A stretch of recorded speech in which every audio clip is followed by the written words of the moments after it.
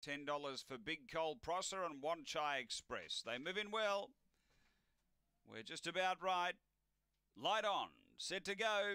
Into 225 Zipping Maisie. Best of luck, punters.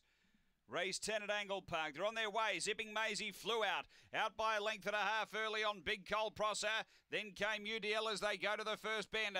Getting over Wan Chai Express was next. And then Fab Jesse, Chatty Wacker. And back at the tail, all about Corey, but Zipping Maisie. Away by four. Doing the chasing Big Coal Prosser. Then came UDL. And next is Fab Jesse from Chatty Wacker up to the turn. Zipping Maisie led. It's clear of Big Coal Prosser and then UDL. Zipping Maisie in front. UDL charging now. UDL went home too well. We've got either Zipping Maisie or Big Coal Prosser in the issue for second, and Chatty Wacker getting home at the end.